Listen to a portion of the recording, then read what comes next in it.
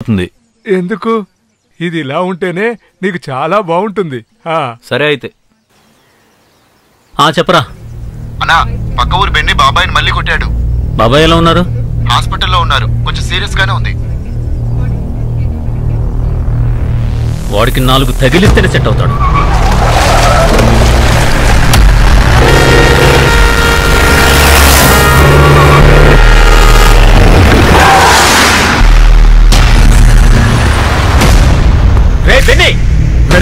అరే నువ్వు చిన్న పిల్లాడు కదరా?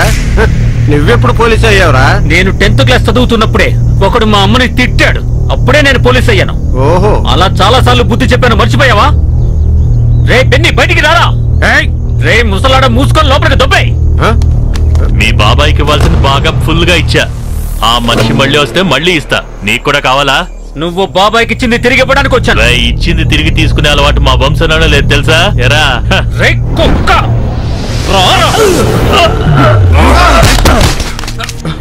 ఏంట్రా?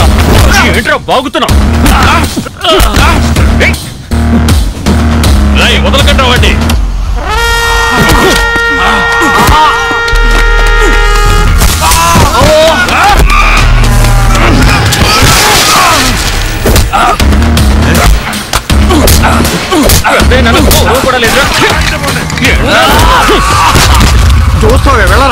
అయ్యో!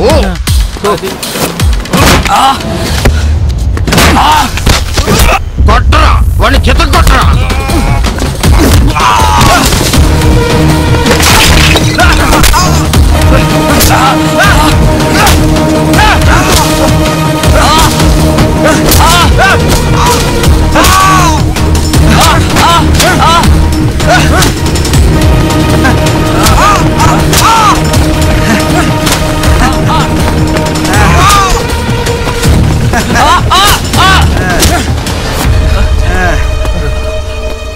ఇక చాలు మిగతాది సార్ చూసుకుంటాడు?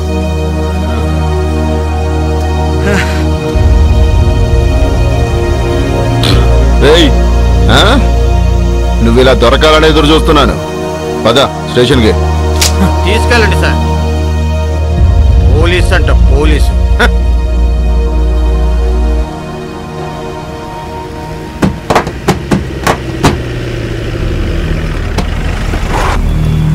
ఇక్కడే ఉన్నారా?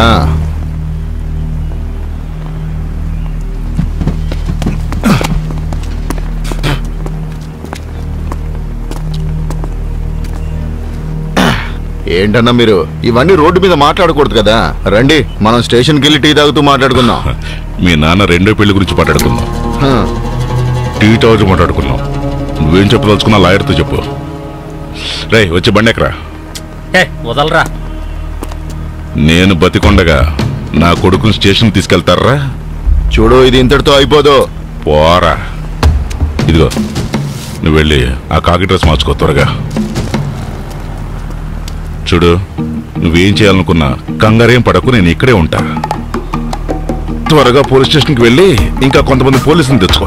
నీకు ఇంకా బలం ఉంటుంది కదా. అంతవరకు నేను ఇక్కడే ఉంటా.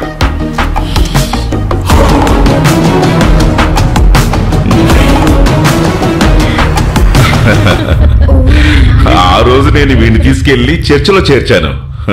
ఆ రోజు నేను అలా చేసి ఉండకపోతే ఈ రోజు పరిస్థితి ఎలా ఉండేదో.